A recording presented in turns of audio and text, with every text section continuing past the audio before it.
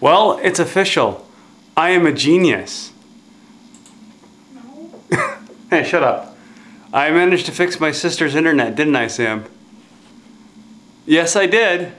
Yes, I fixed it.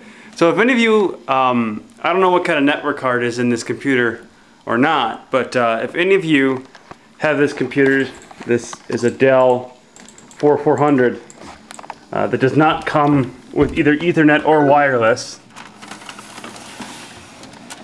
But we installed this card. I'm not even sure what kind of card it is, but it was loose. And uh, all I did was screw the antenna back in. It was all the way out like this, and I just screwed it all the way back in, and uh, now it works in here. And she's extremely ecstatic and very grateful.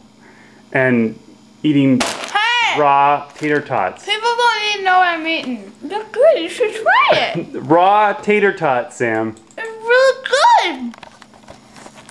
That's, It's really good. that's just so weird. I'm sorry. Mm, mm, mm, Well, anyways, mm. you're very grateful and you're very welcome to fixing your internet. Hmm? You want me to leave, don't you? Yes. Okay. Well, we're gonna leave, but uh, that's how we fix the internet.